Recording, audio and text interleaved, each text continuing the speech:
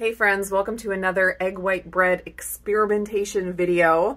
I posted recently my perfected egg white bread with the addition of the yolk powder or the whole egg powder that gives the bread an incredible texture, takes away the memory foam, gives you beautifully shaped loaves, and I have gotten such a great response from people who have tried it. So many people say they're loving the texture that they're getting and they're really enjoying the bread and the recipe. But as with everything, there are a few people that are still struggling and still not loving the texture as much as they'd like to love it. And of course, I can never know if what they're tasting is the same thing that I'm tasting, if they've done something differently, or if their environment is affecting, you know, the way the bread is turning out. I can't know if they're just not loving the same bread that I'm loving, but it did spur me on to continue to experiment with different additions to the bread to see if I can improve the texture even more. If it was just me, I probably would be done and be like, this is it, this is perfect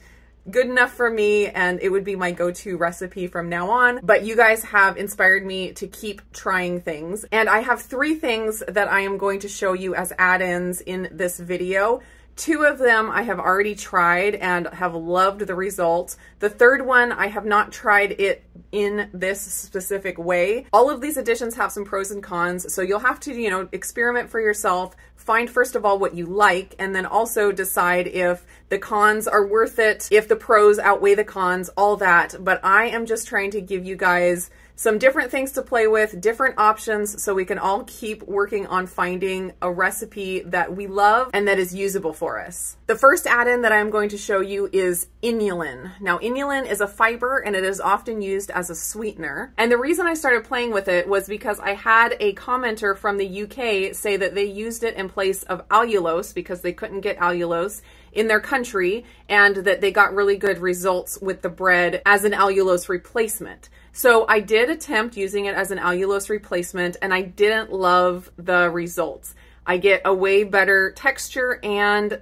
color on my bread with the allulose rather than the inulin. I was hoping that the inulin would just give as just the same results as allulose and I could recommend that, but I really didn't love the paleness of the bread. The texture was pretty good, so if you just absolutely cannot get the allulose, try inulin, you might like it. I definitely think the inulin in place of the allulose was better than just no allulose or inulin at all. So then after I did that experiment, I noticed a difference in texture of the bread with the inulin and I kind of liked it and I thought what would happen if I did half allulose, so instead of a fourth of a cup, do two tablespoons and then replace the other two tablespoons with inulin. I did a batch like that. I got a beautiful brown loaf of bread, so the allulose did its work of browning, and then I got a really good texture from the inulin. One thing about the egg white bread is that it's kind of spongy. Like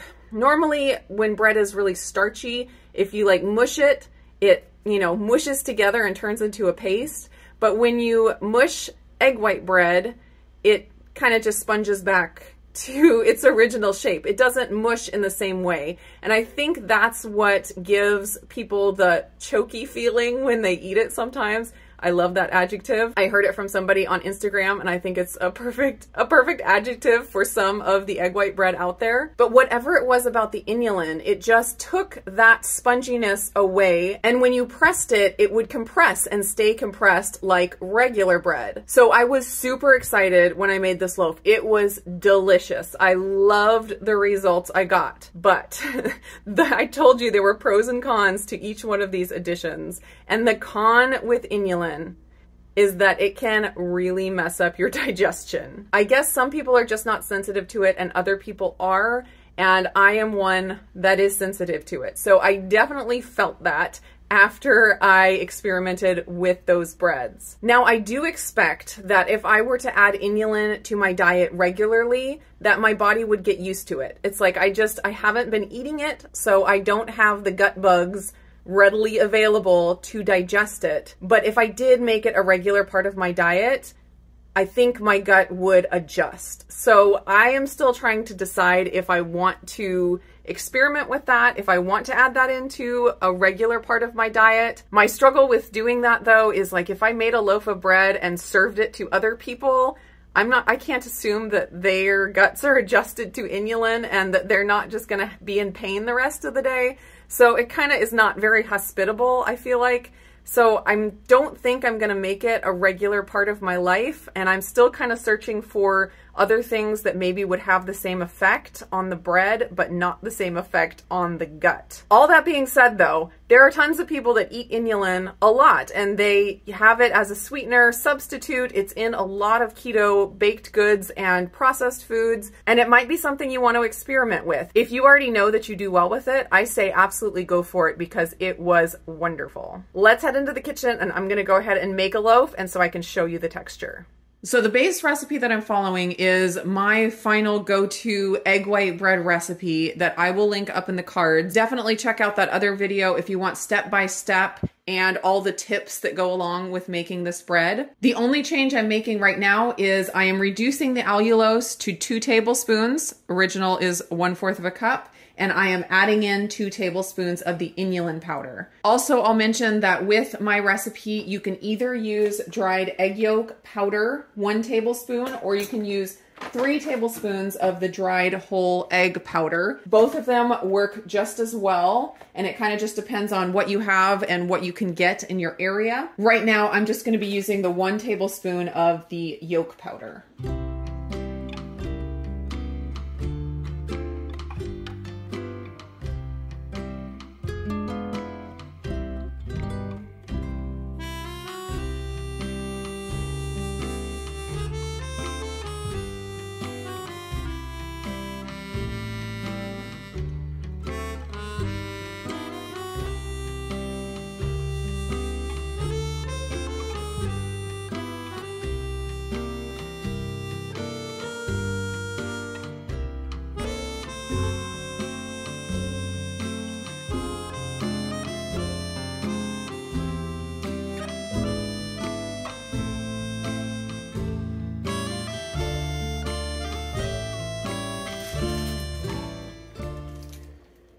Here is my loaf, looking beautiful. You can see it's still browned really nicely just with the two tablespoons of allulose. Totally worked out just fine.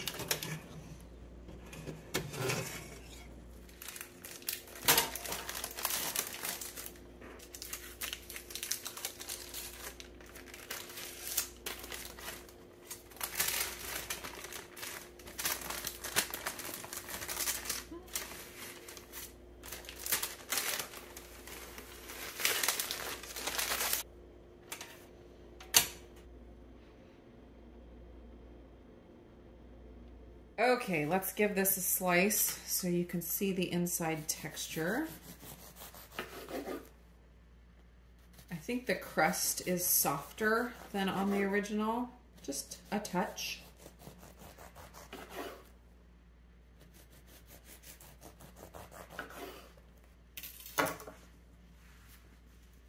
So that is what the inside looks like. It's got some nice big holes. It's very, very soft. Just a perfect texture in my opinion. I have some of the regular recipe that just has the yolk powder added, no other add-ins. I'll just show you the comparison of the two loaves. You can see the texture doesn't look a lot different but as far as feel, this one is definitely softer. And I think this one, the one without any add-ins, is very soft already, but this one is even softer. The crust on this one is a little bit more chewy. This one is very soft. There's a little rip there. Let's see how it rips. So notice on the original with no add-ins, if I squeeze it, it kind of holds the squeeze for a little bit and then it pops back up. Pops back up. Now on this one, watch, watch the squeeze on this one. It stays squeezed like you would expect a white bread to do. You know, if you take a piece of Wonder Bread and you ball it up, it turns into a solid ball of mush. And I expect this one would too. Let's see if let's try. Nothing like playing with your food. So there's our ball of mush. Probably not quite as much as a piece of Wonder Bread mushing up like that.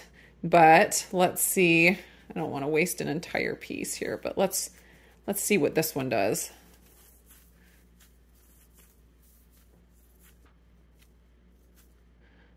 So it didn't ball up too bad, but you can still kind of open it back up and it still looks like the same piece of bread. Let's see this one.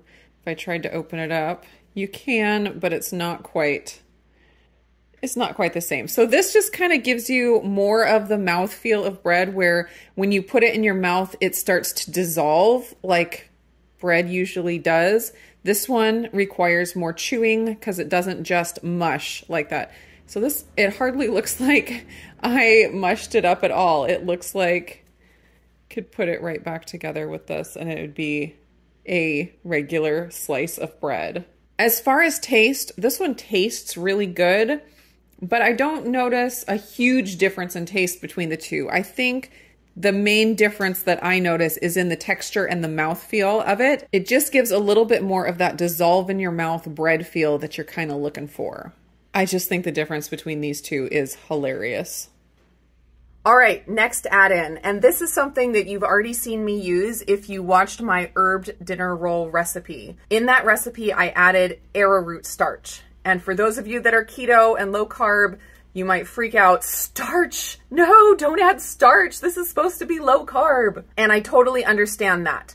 I will point out though, that tons of keto flours, keto approved flours like uh, almond flour and coconut flour and any other flour that you find, they all have a little bit of starch in them. They also have lots of fiber and other things. And because the starch is a low amount in it, it's approved for keto and just fine.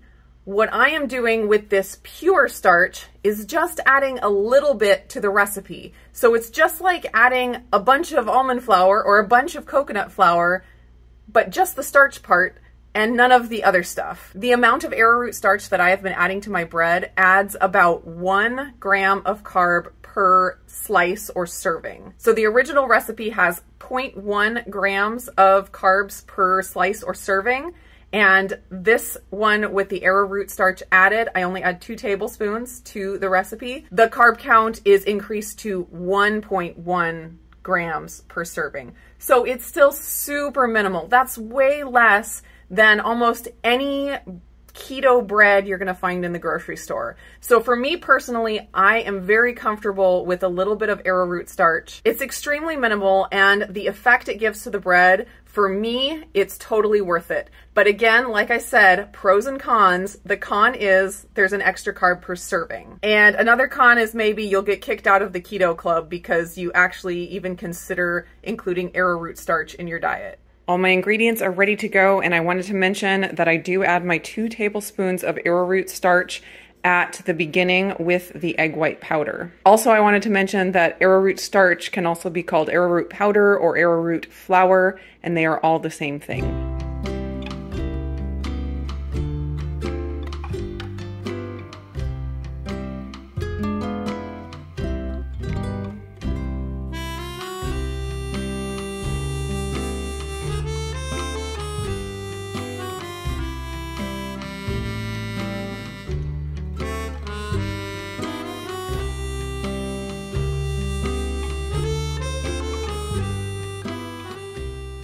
One thing about the arrowroot flour is that it makes a beautiful loaf. I love the shape that I get when I add those two tablespoons. And I've actually found that I get the best shape if I don't use quite as much batter in my loaf pan. If I save out enough to make like one or two little buns, then I get a nice smooth top and it just turns out like the picture perfect loaf of bread. But let's get it sliced up here and we'll look at the texture.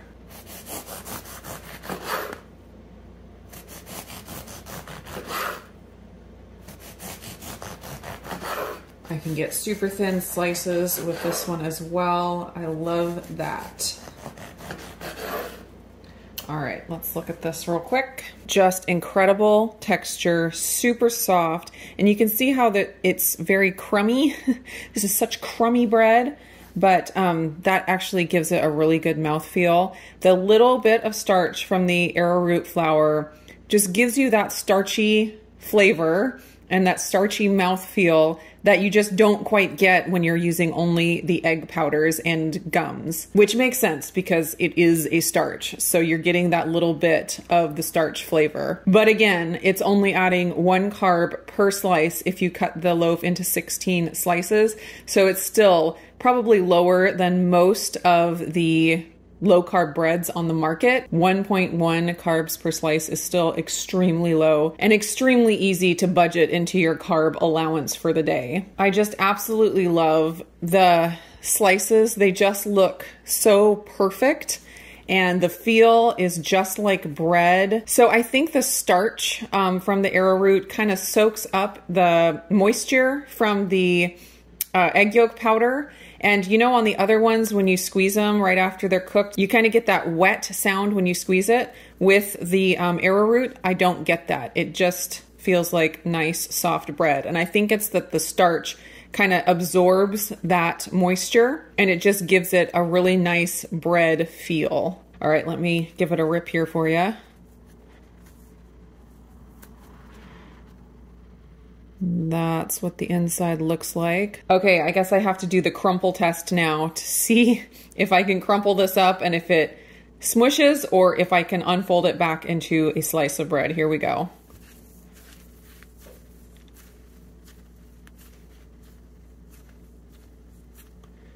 Look at that, guys.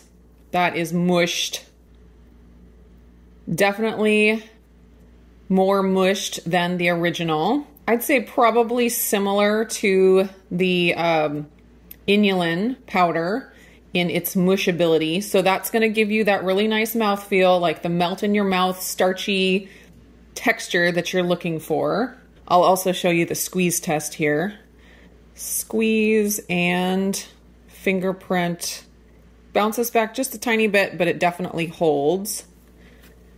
So again, that's just going to give you that nice mouth feel it's not going to be as choky, trying to avoid the chokiness as much as possible. So currently the arrowroot starch is my favorite addition. I love the shape of the loaf. I love the flavor. I love the texture. The only downside for me is that it does add the one carb per slice. So it's not as pure of a protein as the original, but for me, the one extra carb per slice is totally doable. And I think I will be incorporating arrowroot starch in my breads on a regular basis.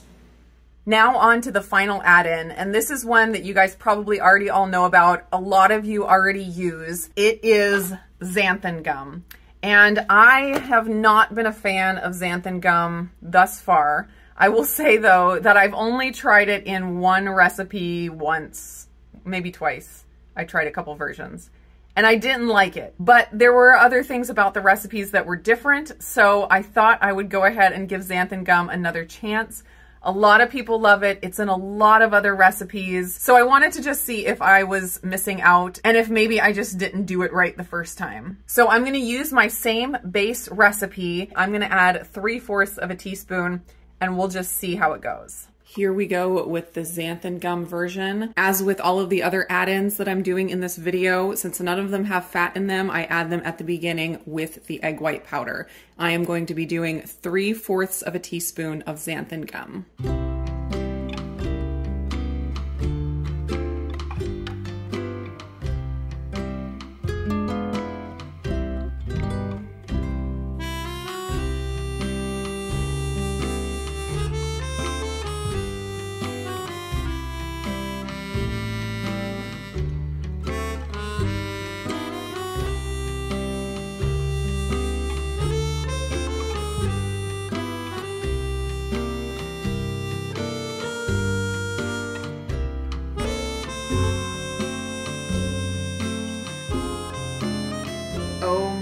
Goodness. Check this out. You can come see. What happened? What happened, Renee? Uh, That's crazy. It looks like it's opening up its mouth to eat us all.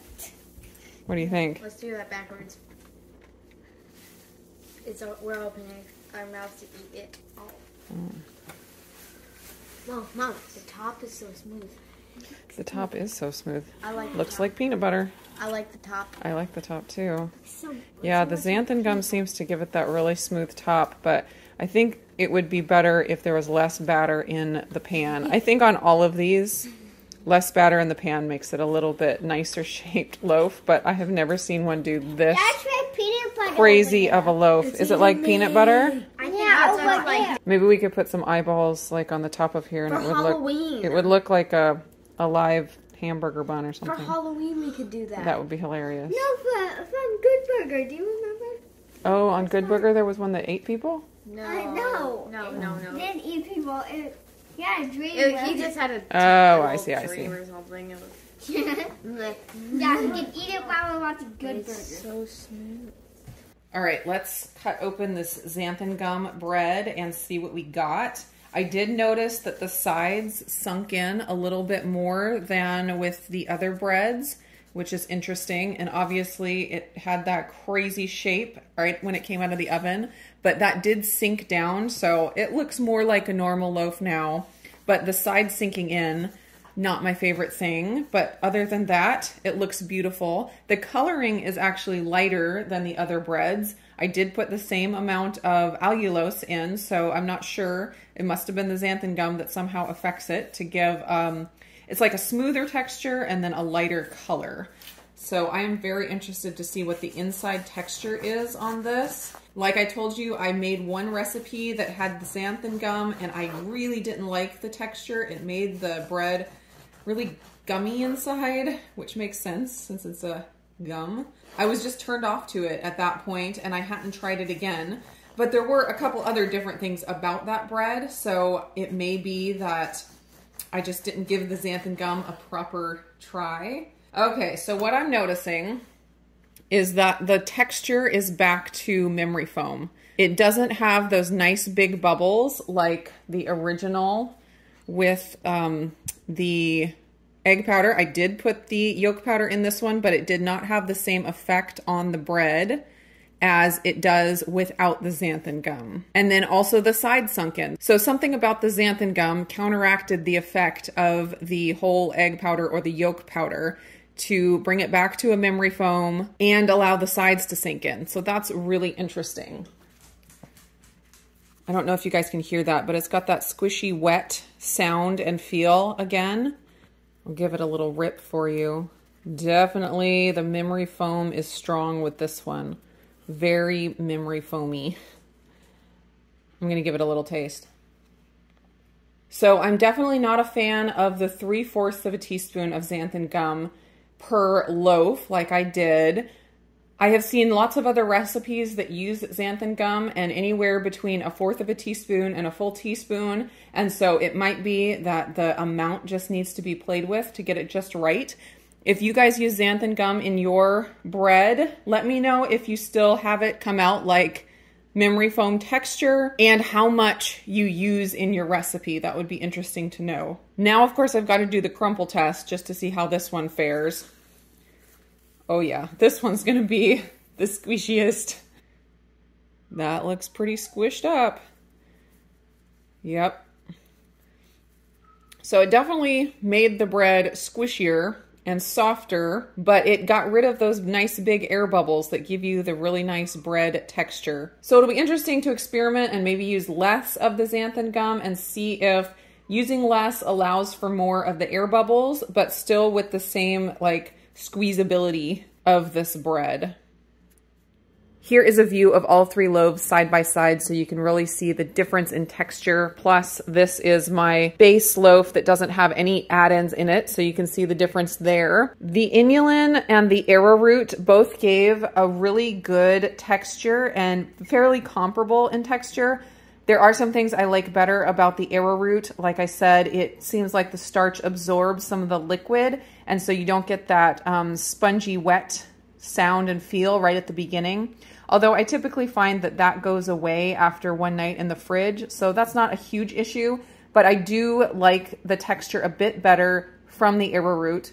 Who would have guessed adding a little starch to bread would make it taste better, of course. But the inulin does add a really great texture. And if you are someone who can handle inulin, there are plenty of people that can. I definitely recommend that addition to the bread. I love the texture that it gives and it still allows for the nice big air bubbles from the whole egg powder or the yolk powder. And it is just a delicious bread with an excellent mouthfeel, kind of like that melt in your mouth type feel that you want from a white bread. As far as the xanthan gum bread, I definitely cannot recommend using it the way I did with the three fourths of a teaspoon that just did not work out for me. The texture is really, really bad. It has a wet memory foam feel that I really can't reconcile with.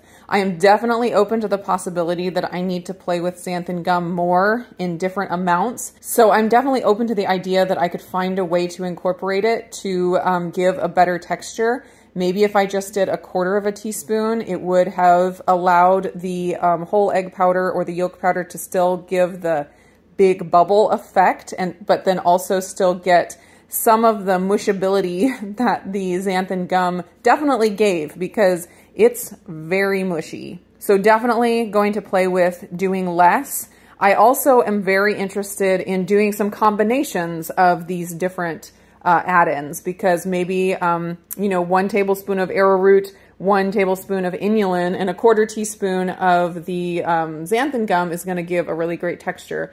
And the only way we're going to find out about that is if we experiment. I also have some ideas for other add-ins that I want to play with and try, so definitely stay tuned for more experimentation. If none of these options look like they were going to be for you, um, there may be some more options coming, so definitely stay tuned for that. I'm really enjoying playing with this recipe and trying to find options for different people depending on first where you are, because some people can't get all of the same, you know, ingredients that other people can, depending on where they are in the world. And then also we all have different tastes and different texture preferences. And so if we can get as many options as possible for people to try, I think that's a win. And everybody can kind of customize and find what they really like and what's going to work well with their everyday diet and lifestyle. So that is all of my experimentation for today. I hope you guys are all doing great and I will see you again in another video.